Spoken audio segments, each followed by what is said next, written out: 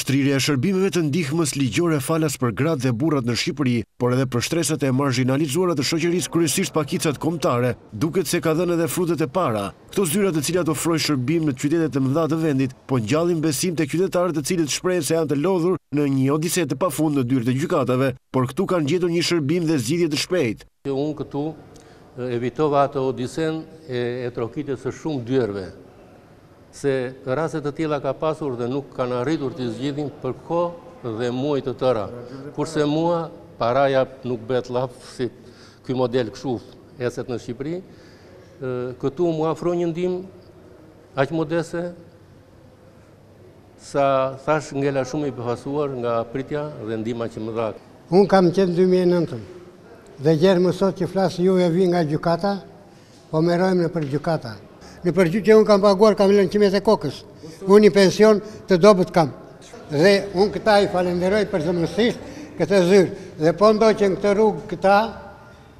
Këta do jenë një mirësi e popullit. Në partneritet me Ministrinë e Drejtësisë, Agjencinë Austriake për Zhvillim dhe në bashkëpunim me organizatat e shoqërisë civile, PNUD ka mbështetur shtrirjen e këtij shërbimi në ato zona ku shërbimi i ndihmës juridike falas mungonte dhe nevoja e qytetarëve për ndihmë juridike ishte e madhe. Procedurat të gjitha në qendrën tonë janë falas, personat mund të paraqiten vetëm me një kartë identiteti dhe pastaj për çdo hap tjetër janë në ndihmën time, thjesht mund të ndihmojnë vetëm me një vërtetim papunësie ose me librezë KEMP-i në qoftë se janë kategori të veçanta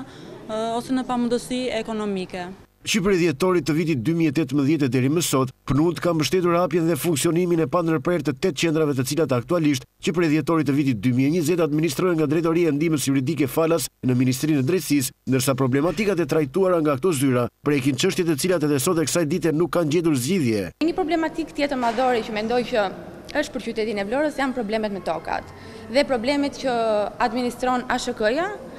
ka pasur vonesa në aplikime dhe në marrjen e përgjigjeve nga qytetarët. Gjithsesi ne kemi bërë të pamundurën për t'u ardhur në ndihmë, Dhe ndoshta kemi tejkaluar edhe ligjin, sepse ligji parashikon që ndihma jepet, ndihma parësore jepet thjesht një herë për një rast, për të njëjtën problematikë, po duke qenë se jemi munduar t'u vijmë sa më shumë në ndihmë qytetarëve dhe për të qenë sa më afër tyre, kemi vijuar ndihmën tonë edhe përtej saj. Qendrat funksionojnë në rrethin e Shkodrës, Peshkopisë, Lezhës, Durrësit, Vlorës, Fierit, Pogradecit dhe Gjirokastrës dhe ofrojnë shërbim juridik falas për të gjitha gratë, vajzat, burrat dhe djemtë në nevojë në mënyrë të pandërprerë, gjithëpërfshirëse dhe të barabartë. Gjatë periudhës janar-maj dy mijë e njëzet e një, në total, shtatëqind e tridhjetë e një persona në nevojë kanë përfituar shërbim juridik falas në këto tetë qendra, nga të cilët treqind e tetëdhjetë e dy janë femra dhe treqind e dyzet e nëntë meshkuj.